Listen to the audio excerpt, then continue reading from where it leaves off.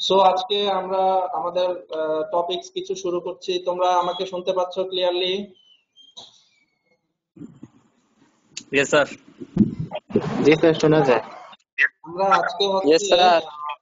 Viva বোর্ডের যে শোনা যায়, sir.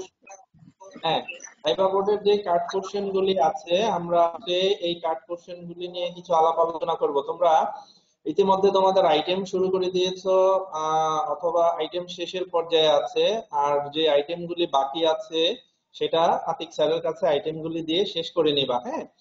তো আজকে হচ্ছে আমরা অর্থোপেডিক্স এর অর্থোপেডিক্স এবং ট্রমাটোলজি দুইটা পোর্শনের আমরা অর্থোপেডিক্স এর কার্ডের কোশ্চেন গুলি নিয়ে আমরা আলোচনা করব, আমরা কোশ্চেন গুলির অ্যান্সার দেওয়ার চেষ্টা করব, ঠিক আছে? তোমরা স্ক্রিন তোমাদের ডিভাইসের মধ্যে স্ক্রিন শো হচ্ছে তো আমার যেটা ওপেন করা আছে।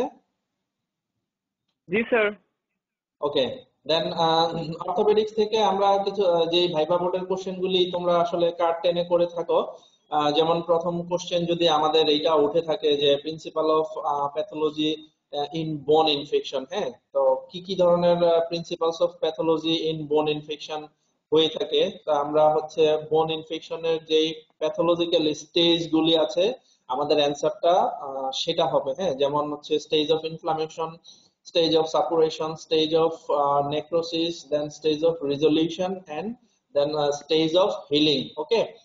Uh, so uh, এটা হচ্ছে আমাদের কোশ্চেনের অ্যান্সার হবে ওকে তো প্যাথোলজি অফ বোন দেখা যাচ্ছে? জি স্যার। এখন? জি স্যার ঠিক আছে। স্যার জি স্যার ঠিক আছে। Okay so pathology of bone infection হ্যাঁ? বোন ইনফেকশনটা কীভাবে আমাদের ডেভেলপ করে? ব্যাকটেরিয়া বেসিক্যালি হচ্ছে আমাদের একটা বায়োফিল্ম প্রডিউস করে হ্যাঁ? দ্যাট পিস অফ বোন অথবা ভিতরে যদি আমরা কোনো ধরনের ইমপ্লান্ট ডিভাইস ইমপ্লান্টেড করে থাকি ডিউ টু ফ্র্যাকচার রিডাকশনের জন্য সেই ক্ষেত্রে ওগুলোর উপরে একটা বায়োফিল্ম প্রডিউস করে ঠিক আছে? তারপর হচ্ছে ইনফেক্টেড বোন যেটা ডেড হয়ে যায় হয় আর হচ্ছে অ্যারাউন্ড দা যেটা হচ্ছে ইনভলিউক্রাম ঠিক আছে? এটা হচ্ছে বোনসে যে ইনফেকশন ডেভেলপ করে সেটা প্যাথোলজি ঠিক আছে? এখন discharging sinus uh, uh, is formed? In case of chronic osteomyelitis হ্যাঁ? chronic osteomyelitis এ chronic discharging sinus কেন ফর্মেশন হয়? অ্যানসারটা এখানে দেয়া নাই। অ্যানসারটা হচ্ছে যে, এই যে আমরা বললাম কিছুক্ষণ আগে যে, এই যে রেজিস্ট্যান্ট বায়োফিল্ম ডেভেলপ করে হ্যাঁ? বোনসের গায়ে অথবা সিকুয়েস্ট্রামের গায়ে অথবা যে কোনো ধরনের ইমপ্লান্টের গায়ে এই রেজিস্ট্যান্ট বায়োফিল্ম যে প্রডিউস হয়, এই বায়োফিল্মটাই হচ্ছে ক্রনিক ইনফ্লামেশনের জন্য দায়ী, ঠিক আছে? ক্রনিসিটির জন্য দায়ী। এই ক্রনিসিটির জন্যই আমাদের ক্রনিক ডিসচার্জিং সাইনাস ডেভেলপ করে। তার উপরে হচ্ছে যদি অ্যান্টিবায়োটিক আমাদের শরীরে রেজিস্ট্যান্ট থাকে, সেক্ষেত্রেও আমাদের ক্রনিসিটি ডেভেলপ করে। ওকে এই দুইটা কারণেই বেসিক্যালি ক্রনিক ডিসচার্জিং সাইনাসটা আমাদের শরীরে ফর্মেশন হয়। কারণ ক্রনিক ইনফেকশনটা শরীরের মধ্যে পারসিস্ট করে থাকে, ঠিক আছে? So in case of chronic osteomyelitis infection হচ্ছে বোনসে এবং টিস্যুতে অ্যান্টিবায়োটিক হচ্ছে তোমার ডেড টিস্যুতে পৌঁছাতে পারে না। যার কারণে ব্লাড সাপ্লাইটাও হ্যাম্পার্ড থাকে ইনফেকশনটা পারসিস্ট করে বায়োফিল্মের কারণে। এই পারসিস্টেন্স অফ ইনফেকশন যেটা পেরিওস্টিয়াম দিয়ে পাস ফর্মেশন যেটা হচ্ছে সেটা আন্ডার সারফেস অফ দ্য পেরিওস্টিয়ামে আসতেছে। পেরিওস্টিয়ামকে পায়ার্স করে তারপরে হচ্ছে সাবপেরিওস্টিয়াল অ্যাবসেস হয়, সেখান থেকে সফট টিস্যু হয়ে ডিসচার্জিং সাইনাস হয় ওকে আচ্ছা তারপরে কোশ্চেন হচ্ছে name some important gram positive organism for bones and joint infection আমরা গ্রাম পজিটিভ কোশ্চেন খেয়াল করতে হবে হ্যাঁ? Some are gram negative organism some are gram positive organism so আমরা কোশ্চেন ওঠানোর পরে দেখে যে হঠাৎ দা অর্গানিজম অনেকে দেখে বা অনেকে মানে অর্গানিজমের নাম চেয়েছে তো, বলা শুরু করে। দেখতে হবে আমরা কি চেয়েছি হ্যাঁ গ্রাম পজিটিভ না gram negative okay so gram positive অর্গানিজমের মধ্যে হচ্ছে স্ট্যাফেলোকক্কাই আছে স্ট্রেপ্টোকক্কাই আছে হ্যাঁ? এর মধ্যে কোয়াগুলেস নেগেটিভ স্ট্যাফেলোকক্কাই তারপরে হচ্ছে স্ট্রেপ্টোকক্কার মধ্যে আলফা হেমোলাইটিক ইনক্লুডিং নিউমোনি হ্যাঁ? তারপর হচ্ছে viridans group of streptococcus beta haemolytic streptococcus যেমন streptococcus pyogenes streptococcus agalactiae okay আর হচ্ছে propionibacterium okay these are the organism gram positive organism causing bones and joint infection okay uh, next another question হচ্ছে some uh, important gram negative organisms of bones and joint infection. So here gram negative organism আমরা চেয়েছি। সেটা হচ্ছে Enterobacteriaceae যেমন E. coli, ক্লেবশিয়েলা, salmonella, সিওডোমোনাস, হ্যাঁ haemophilus influenzae, neisseria meningitidis, neisseria is Neisseria species. These are the gram negative organisms causing bones and joint infection.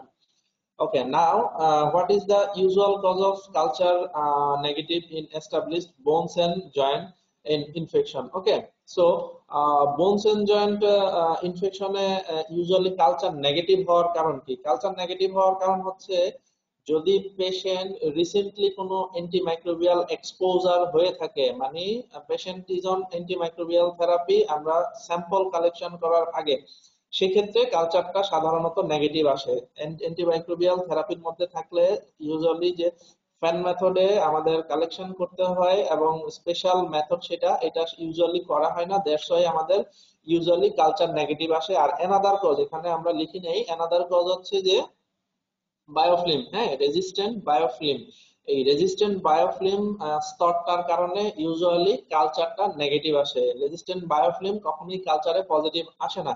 ওকে এই দুইটা কারণেই হচ্ছে সাধারণত আমাদের কালচার নেগেটিভ হয়ে থাকে। ওকে দেন হচ্ছে আমাদের অ্যানাদার কোশ্চেন হচ্ছে what are the diagnostic tool for bones and joint infection আমরা বোনস এন্ড জয়েন্ট ইনফেকশনে কি কি ইনভেস্টিগেশন বা ডায়াগনস্টিক টুল আমরা করতে পারি? যেমন হচ্ছে ফর ব্লাড থেকে আমরা complete blood count with ESR C reactive protein তারপর হচ্ছে ইমেজিন স্টাডির মধ্যে হচ্ছে প্লেন রেডিওগ্রাফি এবং আমরা আলট্রাসোনোগ্রাফিও করতে পারি, আমরা এমআরআইও করতে পারি, ঠিক আছে? তারপর হচ্ছে আমরা বোন স্ক্যান করতে পারি স্পেশাল কেসে আমরা সিটি স্ক্যানও করি, আর হচ্ছে স্পেসিফিক সাইট থেকে যেখানে ইনফেকশন আছে, সেখান থেকে আমরা কালচার সোয়াব নিতে পারি ফর কালচার সেন্সিটিভিটি অথবা থাকলে বা কোনো কালেকশন থাকলে সেই অ্যাসপিরেশনটা আমরা কালচার সেন্সিটিভিটিতে পাঠাতে পারি। ইফ নিড বায়োপসি যদি প্রয়োজন হয় বায়োপসি করে আমরা সেখান থেকেও ইনফরমেশন গেইন করতে পারি। ওকে দেন হচ্ছে question rule of plain x-ray in diagnosis of bones uh, infection in early uh, case early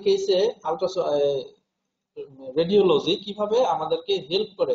early কেসে রেডিওলজিটা হেল্প করে হচ্ছে আমাদের যেই পেরিওস্টিয়াল ইনফ্লেমড হয় পেরিওস্টিয়াম ইনফ্লেম হলে ঠিক হয় পেরিওস্টিয়াল একটা রিয়েকশন হয় হ্যাঁ? এইটা আমাদের আর্লি রেডিওলজিতে বোঝা যায়। আমরা প্লেন এক্সরে যখন করি, তখন আমাদের আর্লি রেডিওলজিতে পেরিওস্টিয়াল ইলিভেশন বা পেরিওস্টিয়াল রিয়েকশন আমরা দেখতে পারি। ইনভলিউটাম ফরমেশনটা আমাদের দেখা যায়। আর যদি কোনো ধরনের ডিভাইস বা ইমপ্লান্ট বোনসের সাথে অ্যাটাচ থাকে, সেক্ষেত্রে ইমপ্লান্টগুলা বা স্ক্রু গুলা লুজেনিং হয়ে থাকে অথবা ডিসপ্লেস থাকে। এই জিনিসটা প্লেন এক্সরেতে দেখা যায় ঠিক আছে? তারপরে হচ্ছে একেবারেই very early stage of inflammation বা ইনফেকশন যদি এন্ড জয়েন্ট হয় সেই ক্ষেত্রে আমাদের প্লেন আমি ক্লাস নিতেছি পরে কথা বলব।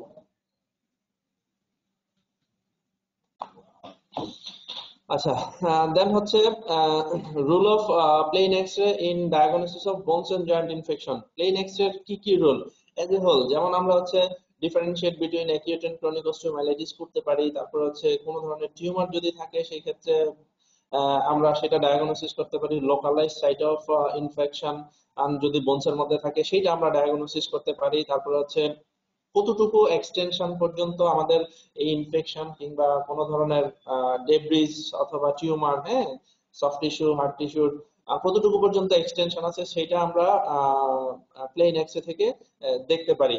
তারপরে আমাদের একটা আরেকটা কোশ্চেন হচ্ছে role of ultrasonography in bones and joint infection আলট্রাসোনোগ্রাফিতে আমরা কি দেখতে পাই? বেসিক্যালি আলট্রাসোনোগ্রাফিতে আমরা বোনসেন জয়েন্ট ইনফেকশনে ইনফেকশন মানে হচ্ছে সেখানে সাপুরেশন হবে ইডেমা ফ্লুইড আসবে। সো আলট্রাসোনোগ্রাফিতে আমরা কালেকশনটা নর্মাল যে কালেকশন থাকে, সেটা যদি নর্মাল কালেকশন বা নর্মাল অ্যামাউন্টের চেয়ে বেশি হয়ে থাকে, সেটা আমরা সোনোগ্রাফি দিয়ে ডায়াগনোসিস করতে পারি, যদি এফিউশন ডেভেলপ করে। আর হচ্ছে সোনোগ্রাফিক্যালি আমরা গাইডেড সোনোগ্রাফি গাইডেড আমরা হচ্ছে এফএনএসি অথবা বায়োপসি করতে পারি, ঠিক আছে? Specific site by specific tumour অংশ থেকে আমরা অথবা স্পেসিফিক লিশন থেকে আমরা সোনোগ্রাফি গাইডেড অ্যাসপিরেশন করতে পারি ওকে আচ্ছা দেন হচ্ছে আমাদের another question what are the imaging techniques use in bones and joint infection and which one is best and why এটা বেসিক্যালি হচ্ছে আমাদের, আমরা অনেক ধরনের ইমেজিং টেকনিক ইউজ করি প্লেন এক্স রে তারপরে ultrasonography self imaging technique MRI bone scanning CT scan ইত্যাদি। So আমরা সাধারণত বেস্ট বলে থাকি হচ্ছে এমআরআই কে। কারণ MRI as a whole soft tissue এবং হার্ড টিস্যু দুইটাকেই ডিফারেন্সিয়েট করে প্যাথোলজিটাকে বোথ এমআরআই তে আমাদের দুই ধরনের ইমেজ থাকে। একটা হচ্ছে টি ওয়ান ওয়েটেড ইমেজ আর একটা হচ্ছে টি টু ওয়েটেড ইমেজ হ্যাঁ? এমআরআই তে হার্ড টিস্যুর পাশাপাশি সফট টিস্যুর স্ট্রাকচারও খুব ভালো অ্যানাটমি সহ বোঝা যায়। ওয়াই আমরা এমআরআই কে বেস্ট বলে থাকি।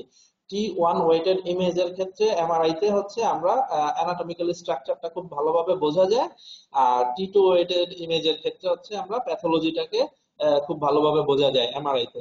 ঠিক আছে? দ্যাটস ওয়াই আমরা এমআরআই কে বেস্ট বলি, কারণ এটা হাইলি সেনসিটিভ এবং স্পেসিফিক ওকে এটা ডিজিজের মোরলেস সকল ধরনের কম্পোনেন্ট গুলাই ডিজিজের শো করে থাকে ওকে আচ্ছা দেন হচ্ছে আমাদের another question characteristics of chronic osteomyelitis chronic osteomyelitis এর ক্যারেক্টারিস্টিক্স দ্যাট মিন্স মোরলেস আমাদের কাছে ক্লিনিক্যাল ফিচারটাই জানতে চেয়েছে। সেক্ষেত্রে আমরা অ্যান্সারটা কি হতে পারে? সেটা হচ্ছে chronic discharging sinus recurrent pain সাথে fever associated with pathological fracture okay? or sometimes uh, sequestrum coming out থাকতে পারে the uh, chronic discharging sinus দিয়ে okay?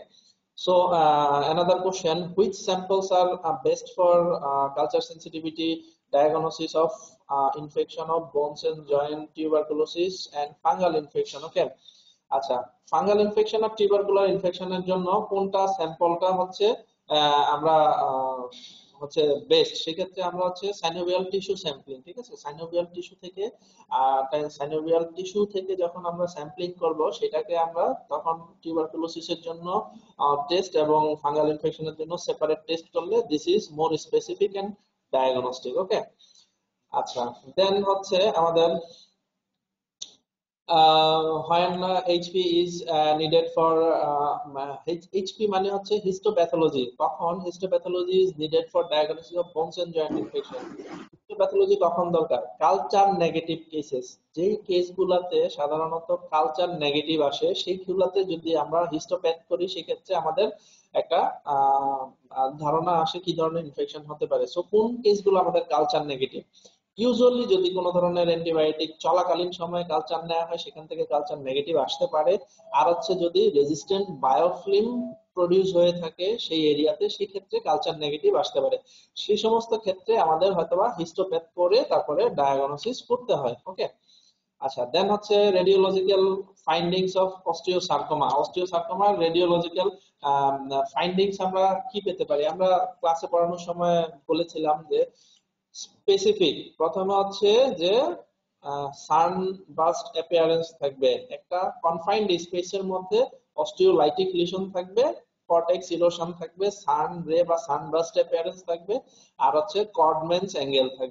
these are the more specific radiological diagnosis in case of osteosarcoma okay then another question what are the clinical findings of secondaries of bone cancer secondary metastasis যখন হয়ে থাকে বোন ক্যান্সারের মধ্যে, কি clinical findings পাই? সাধারণত বনি পেইন যে জায়গায় হচ্ছে সেই জায়গায়, ম্যাটটা যে জায়গায় থাকতেছে সেই জায়গায় হচ্ছে পেইন থাকবে সেই জায়গায় বোনস উইকেনিং এর কারণে প্যাথোলজিক্যাল ফ্র্যাকচার থাকতে পারে মেলেজ উইকনেস হ্যাঁ? তারপরে হচ্ছে ডিফর্মিটি অ্যানোরেক্সিয়া ইত্যাদি ওকে এই সিমটমগুলা আমাদের থাকবে। তারপর হচ্ছে common sites of bony metastasis common sites of bony metastasis কোনটা? সেটা আমরা বলেছিলাম common sites of bony metastasis মানে বোনের কোন জায়গায় কমন মেটাস্টেসিস হয়ে থাকে? সেটা হচ্ছে সাধারণত ফিফটি পার্সেন্ট কেসে স্পাইনে হয়ে থাকে, তারপরে হচ্ছে প্রক্সিমাল ফিমারে হয়ে থাকে, আর হচ্ছে প্রক্সিমাল হিউমেরাসে হয়ে থাকে। এটা হচ্ছে common sites of bony metastasis মানে কোন কোন সাইটে বোনের মেটাস্টেসিস হয়? আরেকটা কোশ্চেন হচ্ছে what are the common tumour metastasis into the bones বোনসে কি কি ধরনের হয়? সেটা হচ্ছে পেয়ার্ড অর্গান থেকে যেমন থাইরয়েড তারপরে হচ্ছে দুইটা লাংস তারপরে হচ্ছে কিডনি থেকে হচ্ছে আর হচ্ছে প্রোস্টেট থেকে হচ্ছে ওকে সো দুইটা কোশ্চেন দুই ধরনের। একটা হচ্ছে common sites of bone metastasis মানে বোনস এর কোথায় কমন মেটাস্টেসিস হচ্ছে আরেকটা হচ্ছে what are the tumour metastasis in the bones bones কি কি ধরনের সেকেন্ডারি মেটগুলো হচ্ছে কোন জায়গা থেকে আসতেছে ওকে আচ্ছা দেন হচ্ছে অ্যানাদার কোশ্চেন আমাদের আছে name some common congenital anomalies in orthopaedics আমরা lots of congenital anomalies in in the world যেমন congenital telepathic universe বা foot deformity congenital hip dislocation, congenitally short femur থাকে, spina bifida, cervical rib, down syndrome হ্যাঁ? তারপর হচ্ছে polydactyly syndactyly neurofibromatosis congenitally radius radial club hand হতে পারে congenitally আলনার club hand হতে পারে হ্যাঁ? তারপরে হচ্ছে cleft lip cleft palate this all are congenital anomalies okay আচ্ছা তো এখন আমাদের নেক্সট কোশ্চেন হচ্ছে what is club foot what are the deformities in the club foot তো আমরা কমন কনজেনিটাল অ্যানোমালি হিসেবে অর্থোপেডিক্সে আমরা যেটা খুবই সচরাচর পেয়ে থাকি এবং বিভিন্ন বাংলাদেশের বিভিন্ন মেডিকেল কলেজ হ্যাঁ? এবং আমাদের ন্যাশনাল ইনস্টিটিউট অফ নিটোর যেটা আর কি হ্যাঁ টমাটোলজি সেখানে আমাদের আলাদা ক্লাব ফুডের জন্য একটা ক্লিনিকই থাকে আলাদা। সেখানে ক্লাব ফুডের এটা ন্যাশনাল প্রোগ্রাম ক্লাব ফুডের পেশেন্টদেরকে সেখানে সার্ভ করা হয়। ফ্রিতে চিকিৎসা করা হয় প্লাস্টার থেকে শুরু করে এভরিথিং হ্যাঁ। তো ক্লাব ফুড কি জিনিস? ক্লাব ফুড হচ্ছে খুবই কমন একটা ডিজিজ এক হাজার পার মানে একজন per thousand live birth one in thousand live বার্থে একজনের ক্লাব ফুড পাওয়া যায় সাধারণত। এটা হচ্ছে একটা কনজেনিটাল ডিফর্মিটি যেখানে হচ্ছে ইকুইনাস এবং varus position of the foot uh, and it appears uh, at the time of মানে জাস্ট আফটার বার্থ দেখা যায় ইকুইনাস এবং ভ্যারাস পজিশন নিয়ে পায়ের ফুটের পজিশনগুলা অ্যাপিয়ার করতেছে ওকে সো ক্লাব ফুটের যে ডিফর্মিটি দিস আর দা পাঁচটা হ্যাঁ? Five primary deformities of the club foot and lots of secondary deformities আমরা সাধারণত কি কি ধরনের প্রাইমারি ডিফর্মিটিস হয় সেটাই আমরা সাধারণত বলে থাকি হ্যাঁ? তো আমাদের পাঁচটা প্রাইমারি ডিফর্মিটি মনে রাখব। প্রথম হচ্ছে ফোর ফুট অ্যাডাক্টাস দুই নাম্বার হচ্ছে মিড ফুট ক্যাবাস তিন নাম্বার হচ্ছে হিল ভেরাস চার নাম্বার হচ্ছে অ্যাঙ্কেল ইকুইনাস এন্ড পাঁচ নাম্বার হচ্ছে ইন্টারনাল টিবিয়াল টর্শন এই পাঁচটা হচ্ছে basic primary deformity of the congenital talipes equinovarus আমি আবারও বলছি প্রথমে হচ্ছে forefoot adductus midfoot cavus heel varus ankle equinus and পাঁচ নাম্বার ইন্টারনাল টিবিয়াল টর্শন এই পাঁচটা হচ্ছে primary deformity of the clubfoot okay so principle of sir ক্যাবাসটা কি হবে? হ্যাঁ সরি ক্যাবাসটা কি হবে? Cavus mid foot cavus cavus মানে হচ্ছে আমাদের ফুডের আমাকে দেখা যাচ্ছে আমার হাত দেখা যাচ্ছে? আমাদের ফুডের এই যে মিড ফুড মানে মাঝখানের অংশটা এই যে তোমার কনভেক্সিটিটা থাকে হ্যাঁ? এটা সাধারণত আমাদের একটু ফ্ল্যাট টাইপে থাকে নরমাল ফুডে যখন ক্লাব ফুড হবে এই যে ফোর ফুড যখন এরকম বাঁকা হয়ে যাবে তখন এই ক্যাভাসটা অনেক হাই আর্চ হবে। এটাই হচ্ছে mid foot cavus okay ji sir thank you এখন হচ্ছে আমাদের principle of club foot management প্রিন্সিপালটা হচ্ছে এটা হচ্ছে আমাদের নিটরের একটা ন্যাশনাল গাইডলাইন অনুযায়ী বাংলাদেশে আমরা এটা ফলো করে থাকি। সেটা হচ্ছে আপ টু থ্রি উইকস পর্যন্ত ডে অফ ওয়ান বাট যেদিন হলো সেদিন থেকে আমরা থ্রি উইকস পর্যন্ত three weeks usually three month পর্যন্তই আমরা করে থাকি। সাধারণত ম্যানুয়াল স্ট্রেচিং মানে বাচ্চা যখনই ব্রেস্ট ফিড করবে, আমরা তখন মাকে এক্সারসাইজ ম্যানুয়াল এক্সারসাইজটা শিখিয়ে সেটা হচ্ছে এই যে মিড ফোর ফুট আছে এই ফোর ফুটের টু এর বলের নিচে ধরে আমরা হচ্ছে হাত, পা এরকম বাঁকানো থাকে তো, আমরা হচ্ছে বলের নিচে ধরে মাকে শিখিয়ে দিই এরকম কারেকশন করার জন্য। যখনই সে ব্রেস্ট ফিডিং করতে থাকবে, তখন এই জিনিসটা মা নিজে করতে পারে অথবা যিনি পাশে থাকবেন, নানি বা দাদি, ওনারা এই জিনিসটা করবেন। তাতে বেনিফিট হচ্ছে বাচ্চা যখন ব্রেস্ট ফিড করতেছে, তার মনোযোগটা অন্যদিকে ডাইভার্সন থাকবে এবং তার এই ম্যানুয়াল স্ট্রেচিং করেই কিন্তু দেখা যায় non rigid variety of club গুলি ম্যাক্সিমাম এই ম্যানুয়াল স্ট্রেচিং এ ওকে হয়ে যায়। যেগুলো রিজিড ভ্যারাইটি সেগুলোর ক্ষেত্রে হয়তোবা আমাদেরকে ম্যানুয়াল স্ট্রেচিং এর পরেও সিরিয়াল কাস্টিং ট্যানোটমি ইত্যাদি লাগে। কিছু কিছু ক্ষেত্রে আমাদেরকে সফট টিস্যু প্রসিডিউর সার্জারিতেও যেতে হয় বাট সেগুলো অনেক কম, ঠিক আছে? So zero to three month three weeks না বললে আমরা জিরো টু থ্রি মান্থ পর্যন্ত ম্যানুয়াল স্ট্রেচিং বলব। থ্রি মান্থ থেকে নাইন মান্থ পর্যন্ত, ঠিক আছে? তিন মাস থেকে নয় মাস পর্যন্ত আমরা সিরিয়াল ক্লাস্টার করব। বাচ্চা যদি তিন মাসের পরবর্তীতে আমাদের কাছে আসে, তখন আর ম্যানুয়াল স্ট্রেচিং এর কোনো রুল নাই। তখন হচ্ছে আমরা সিরিয়ালি ক্লাস্টার করব হ্যাঁ? ক্লাস্টার করে এই ডিফর্মিটি কারেকশন করার চেষ্টা করব। থ্রি তারপরে হচ্ছে নাইন মান্থ হ্যাঁ? নাইন মান্থ থেকে এটা হবে নাইন মান্থ নাইন মান্থ থেকে থ্রি ইয়ার পর্যন্ত আমরা হচ্ছে পোস্টেরোমিডিয়াল রিলিজ এটা হচ্ছে একটা সার্জারি হ্যাঁ? পোস্টেরোমিডিয়াল রিলিজ করা হয়, ঠিক আছে? থ্রি মান্থ থেকে নাইন মান্থ পর্যন্ত এটা হচ্ছে পোস্টেরোমিডিয়াল রিলিজ এই সার্জারিটা করা হয় ওকে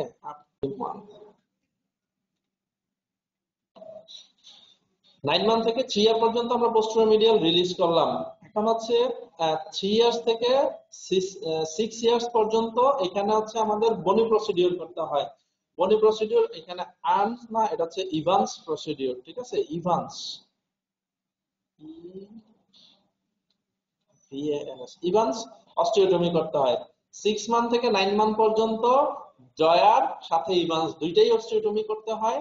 নাইন মান্থ থেকে টুয়েলভ মান্থ পর্যন্ত হচ্ছে আমাদের, এটা হচ্ছে ওয়াচফুল নেগলিজেন্সি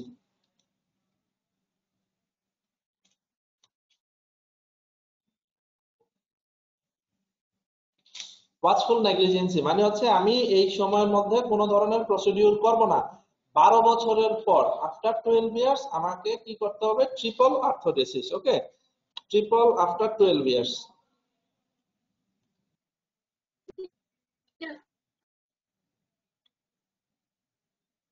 triple হ্যাঁ? এই প্রসিডিউরটা আমাকে করতে হবে ওকে সো এটা হচ্ছে আমাদের ন্যাশনাল গাইডলাইন যে গাইডলাইন অনুযায়ী আমরা ক্লাবফুটের ট্রিটমেন্ট করে থাকি। কোশ্চেন সুন্দরভাবে আসলে এরকম ভাবে বলে ফেলতে হবে ওকে আচ্ছা নেক্সট কোশ্চেন হচ্ছে আমাদের যে ফ্র্যাকচার ডিফাইন ফ্র্যাকচার তোমরা সবাই জানো অ্যাকর্ডিং টু ডাব্লিউএইচও এবং এও হ্যাঁ? ফ্র্যাকচারের ডেফিনেশন হচ্ছে essential soft tissue injury where bone has to be broken ঠিক আছে? এইটা বলার কোনো দরকার নেই। আচ্ছা। দেন হচ্ছে ডিফাইন ক্লোজ ফ্র্যাকচার আর কম্পাউন্ড ফ্র্যাকচার তো ক্লোজ ফ্র্যাকচার কি জিনিস? ক্লোজ ফ্র্যাকচার হচ্ছে fracture that doesn't communicate with the external air না এক্সটেরিয়র ঠিক আছে? এক্সটার্নাল এয়ার না exterior E X T E R I O R exterior okay এখন কোন জিনিসটা এক্সটেরিয়রের সাথে কমিউনিকেট করবে না? ফ্র্যাকচার কি কমিউনিকেট করে? No fracture haematoma H A E M A T O M A fracture haematoma okay এই একটা ফ্র্যাকচার হলে যে হেমাটোমা হয়, এই হেমাটোমা যদি এক্সটার্নাল সারফেস অথবা এয়ার ওয়াটার কোনো কিছুর কন্ট্যাক্টে না আসে, তাহলে সেটা হচ্ছে ক্লোজ ফ্র্যাকচার আর কম্পাউন্ড ফ্র্যাকচার হচ্ছে এই ফ্র্যাকচার হেমাটোমাটা এই ফ্র্যাকচার হেমাটোমাটা যদি কমিউনিকেট করে উইথ দ্য এক্সটেরিয়রের সাথে, তাইলে সেটা হচ্ছে আমার কম্পাউন্ড ফ্র্যাকচার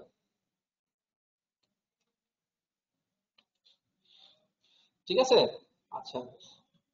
এখন another question is define pathological fracture pathological fracture আমরা সবাই জানি, সেটা হচ্ছে যে কোনো ধরনের ডিজিজ বোন যদি প্রিভিয়াসলি বনসে কোনো ধরনের ডিজিজ কন্ডিশন থাকে, যেমন টিউমার যেমন ইনফেকশন হ্যাঁ ইত্যাদি যদি থাকে, অথবা অস্টিওপোরোসিস হ্যাঁ বোন মিনারেল ডেনসিটি কমে গেছে, এই ধরনের কন্ডিশন থেকে যখন আমার বোনসটা উইকেন্ড হয়ে যায় উইকেন্ড হয়ে সিম্পল মাইনর ট্রমাতে ফ্র্যাকচার হয়, সেটাই হচ্ছে প্যাথোলজিক্যাল ফ্র্যাকচার যেমন হচ্ছে কোথায় কোথায় হয় প্যাথোলজিক্যাল ফ্র্যাকচার সাধারণত স্পাইনে হয়ে থাকে, এটা কোনো ধরনের টিউমার ডিপোজিটের কারণে অথবা হচ্ছে অস্টিওপোরোটিক চেঞ্জের কারণে কম্প্রেশন ভার্টিব্রাল কম্প্রেশন ফ্র্যাকচার হয়। Fracture neck of femur okay pelvic fracture হতে পারে রিবসের ফ্র্যাকচার হতে পারে হিউমেরাসের ফ্র্যাকচার হতে পারে হ্যাঁ?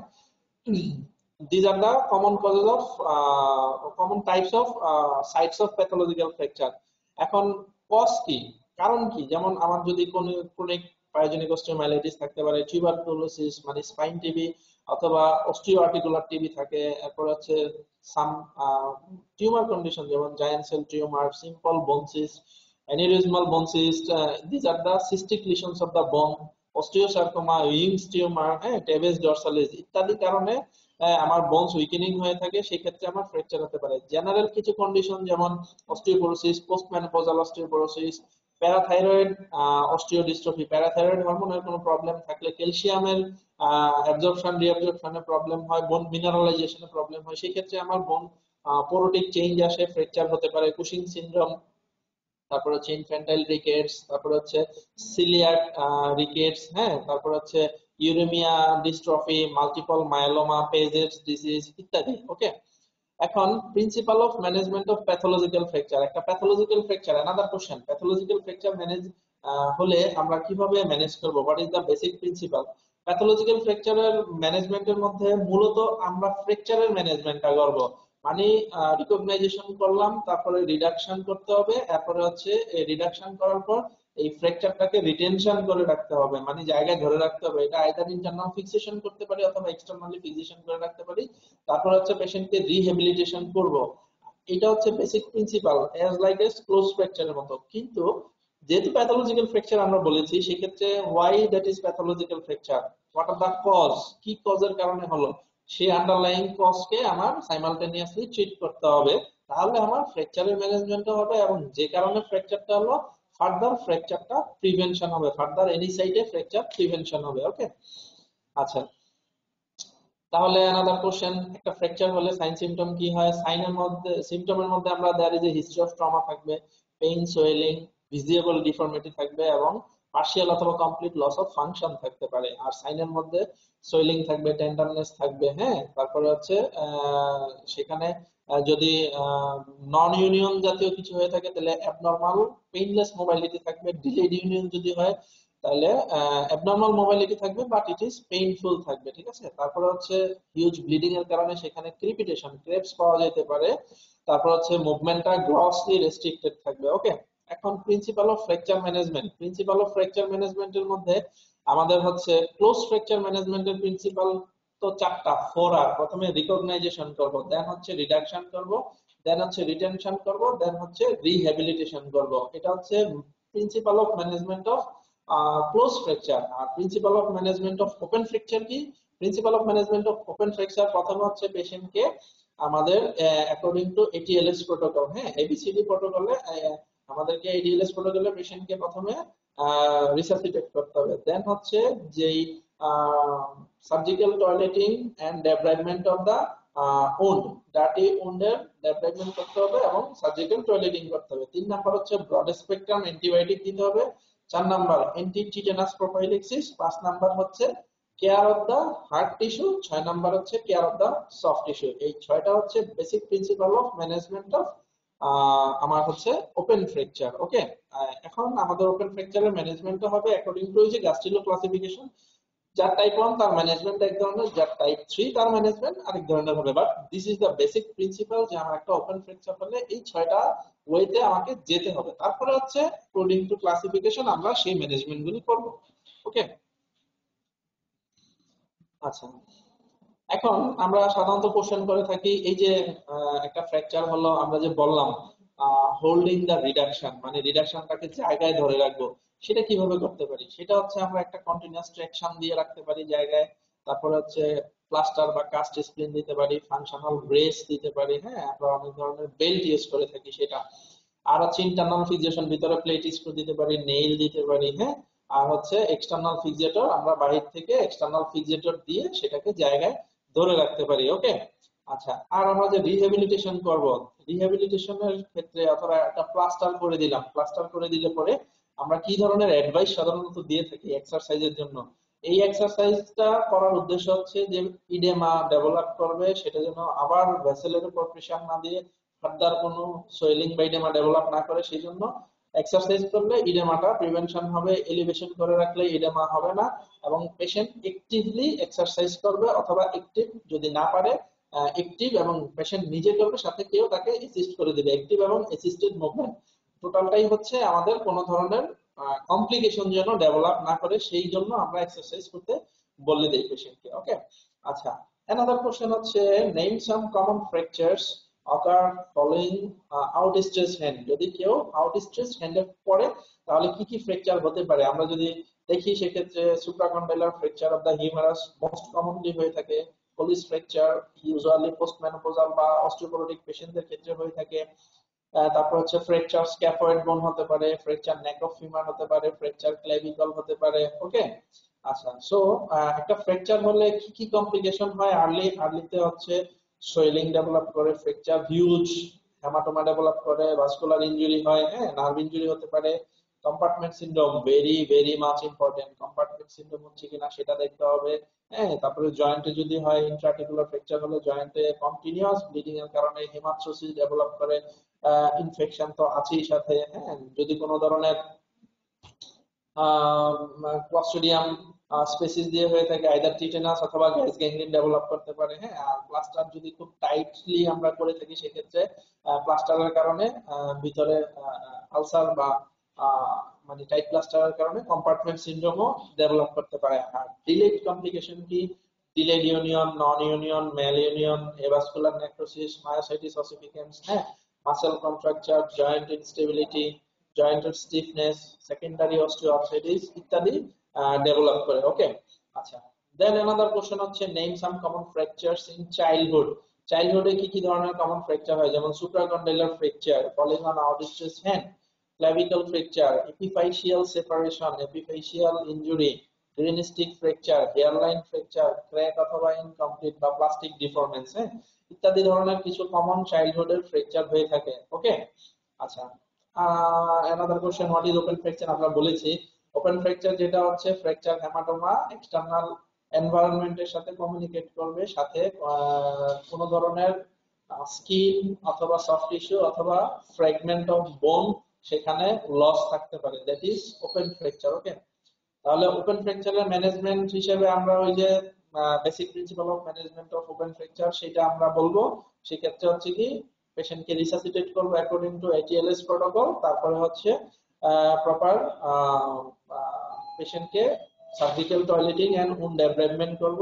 তারপর হচ্ছে anti tetanus prophylaxis broad spectrum antibiotic care of the soft tissue then care of the hard tissue ঠিক আছে? ওকে আচ্ছা। কি কোশ্চেন নেক্সট অ্যানাদার কোশ্চেন হচ্ছে নেম সাম কমন ডিসলোকেশন এবং and how joint is stabilize common dislocation usually আমরা shoulder ডিসলোকেশনটা common পেয়ে থাকি। হিপ ডিসলোকেশন হয় নি ডিসলোকেশন হয় অ্যাঙ্কেল হতে পারে এলবো হতে পারে। সাধারণত শোল্ডার হচ্ছে কমনলি আমরা পেয়ে থাকি। আর হিপ নি অ্যাঙ্কেল এবং এলবো জয়েন্ট সেগুলো হচ্ছে বেসিক্যালি পোস্ট ট্রমাটিক কারণেই খুব বেশি কমনলি হয়ে থাকে। ওকে আচ্ছা জয়েন্ট কীভাবে আমরা স্টেবিলাইজ করতে পারি বেসিক্যালি জয়েন্টের স্টেবিলিটি কে দিচ্ছে surrounding muscle ligaments fibrous capsule, atmosphere এবং musculotendinous cuff. These are the uh, structures that maintain the stability of a joint. So, কোনো joint dislocation হলে আমাদের এই স্ট্রাকচার গুলির দিকে আলোকপাত করতে হবে এবং এই স্ট্রাকচার গুলির কোনোটা যদি ডিঅ্যারেঞ্জমেন্ট বা ক্ষতিগ্রস্ত হয়ে থাকে সেগুলোকে আমাদেরকে রেস্ট দিয়ে অথবা সার্জারি করে যেভাবেই হোক আমাদেরকে এটা রিস্টোর করতে হবে। জয়েন্টের স্টেবিলিটিটাকে রিস্টোর করার জন্য। ঠিক আছে? আচ্ছা তাহলে জয়েন্টের ডিসলোকেশন মানে হচ্ছে ডিসলোকেশনের ডেফিনেশন ডিসলোকেশনের ডেফিনেশন হচ্ছে জয়েন্টের আর্টিকুলার সারফেস যদি কমপ্লিট কোনো কন্টাক্টে না থাকে, সেটা ডিসলোকেশন আর হচ্ছে সাবলাক্সেশন সাবলাক্সেশন মানে হচ্ছে পার্শিয়ালি কন্টাক্টে থাকবে। আর্টিকুলার সারফেস দুইটা পার্শিয়ালি কন্টাক্টে থাকবে সেটা হচ্ছে সাবলাক্সেশন ওকে তাহলে আমরা একটা ডিসলোকেশন কীভাবে ট্রিট করব? ডিসলোকেশন ট্রিট করব, আমরা হচ্ছে আন্ডার জেনারেল অ্যানেস্থেসিয়া এবং adequate muscle relaxant general anaesthesia পাশাপাশি এডিকুয়েট মাসেল রিল্যাক্সেন দিয়ে মাসেল রিল্যাক্স করে দেন হচ্ছে আমরা জয়েন্টটা ডিসলোকেশনটাকে কারেকশন করতে হবে ওকে আচ্ছা এখন হচ্ছে আমাদের অ্যাঙ্কেল স্প্রেইন অ্যাঙ্কেল স্প্রেইন কি জিনিস? আমাদের অ্যাঙ্কেল স্প্রেইন হচ্ছে common condition uh, in which uh, ligaments of the uh, ankle joint around the ankle joint যত ligaments আছে এই ligaments গুলা either টর্ন হতে পারে পার্শিয়ালি অথবা কমপ্লিটলি হতে পারে অথবা some fibres of the ligament আমাদের ইনজুরি হতে পারে। This is call ankle sprain okay এই ধরনের পেশেন্ট আমাদের কাছে কি নিয়ে প্রেজেন্ট করে? এই অ্যাঙ্কেল স্প্রেনের পেশেন্ট আমাদের কাছে প্রেজেন্ট করে, যেমন একটা প্রথমেই হচ্ছে সোয়েলিং নিয়ে আসবে। দুই নাম্বার হচ্ছে হিস্ট্রি অফ ট্রমা তিন নাম্বার হচ্ছে পেইন চার নাম্বার হচ্ছে ওয়েট বেয়ারিং করতে পারবে না। যেখানে প্রবলেম হচ্ছে সেখানে কোনো ধরনের ওয়েট বেয়ারিং করতে পারবে না। ওকে এই ক্লিনিক্যাল ফিচার নিয়ে আমাদের কাছে আসে। সো আমরা ট্রিটমেন্ট কি দেই? ট্রিটমেন্ট অপশনটা হচ্ছে প্রথমে পেশেন্টের অ্যাঙ্গেলটাকে আমরা ইমোবিলাইজেশন করব। উদ্দেশ্য কি? সোয়েলিংটা কমবে ইমোবিলাইজেশনের ক্ষেত্রে যেই টিস্যুগুলি আমাদের টর্ন হলো পার্শিয়ালি অথবা কমপ্লিটলি বা ক্ষতিগ্রস্ত হলো, সেই জিনিসগুলা হিলিং এর সম্ভাবনা মানে হিলিং করার জন্য রেস্ট দিব, এই টিস্যুগুলো যেন হিল হয়ে যায়। সোয়েলিং সাবসাইড করবে, টিস্যুর হিলিং এর জন্য সফট টিস্যুর কন্ডিশন বেটার পাওয়ার জন্য। তারপরে হচ্ছে আমরা পেইন যেহেতু আছে অ্যানালজেসিস দিব। আর কোনো ধরনের একটিভ মুভমেন্ট করতে দিব না এবং এই লিম্ফটাকে আমরা হচ্ছে স্প্লিন্টের মধ্যে দ্যাট ইজ প্লাস্টার করে রেস্টে পাঠিয়ে দিব ওকে আচ্ছা তোমরা লাইনে জি স্যার হ্যাঁ তো আমরা আজকে এইটুকু পর্যন্তই শেষ করি। আমরা নেক্সট ক্লাসে আবার কোশ্চেন গুলি কন্টিনিউ করব। আজকের পর থেকে আবার ট্রমাটোলজির দিকেও আমরা অনেকগুলো কোশ্চেন আছে। সেগুলো আমরা জাস্ট তৈরি করতেছি এবং সেগুলো হচ্ছে তোমাদেরকে আমরা দেখাচ্ছি এই জিনিসগুলি। তোমরা আস্তে আস্তে জিনিসগুলি শেষ করা শুরু করো পড়া শুরু করো। কারণ এই কার্ড কোশ্চেন গুলি হচ্ছে তোমরা ভাইবা বোর্ডে তুলতে হবে ঠিক আছে? সো অ্যান্সার গুলি সুন্দর করে আহ, পরীক্ষার জন্য প্রিপারেশন নাও। যদি সময় হয় ব্লগ পোস্টিং যদি তোমাদেরকে নেওয়া আর যদি ব্লগ পোস্টিং নেওয়া সম্ভব না হয় দেশের পরিস্থিতির কারণে হয়তো আমাদেরকে ক্লাস চালিয়ে যেতে হবে। আবার যদি কোনো ধরনের পেশেন্ট পাওয়া যায়, তাহলে হয়তো আমরা তোমাকে ক্লিনিক্যাল এক্সামিনেশন অনলাইনে সম্ভব হলে দেখাবো। আর যদি সেটা না হয়, সেক্ষেত্রে আমরা হয়তো বা ক্লিনিক্যাল এক্সামিনেশনের কিছু ভিডিও আমরা নেট থেকে তোমাদেরকে দেখার জন্য সাজেস্ট করব যেটা হয়তো বা পরীক্ষার সময় তোমাদেরকে পারফর্ম করতে হয়ে থাকে। বিগত দিনগুলোতে শর্ট কেসে পারফর্ম করতে হয়েছে। এই কিছু কিছু এক্সামিনেশন তোমাদেরকে দেখাতে হবে। বেসিক যে এক্সামিনেশনগুলো তোমাদের দেখাতে হবে সেগুলো আমরা যদি সুযোগ হয় কলেজে দেখানো দেশের পরিস্থিতি ভালো হলে সেটা দেখাবো না হলে হয়তো অনলাইনে বা ভিডিও ডাউনলোড করে তোমাদেরকে দেখাবো। ঠিক আছে? জি sir. G sir. Thank you, sir. সবাই সুস্থ থাকো সবাই সবার thank you sir okay sir সাবধানে থাকবেন স্যার। থ্যাংক ইউ স্যার আসসালামু আলাইকুম স্যার আসসালামু আলাইকুম স্যার Welcome.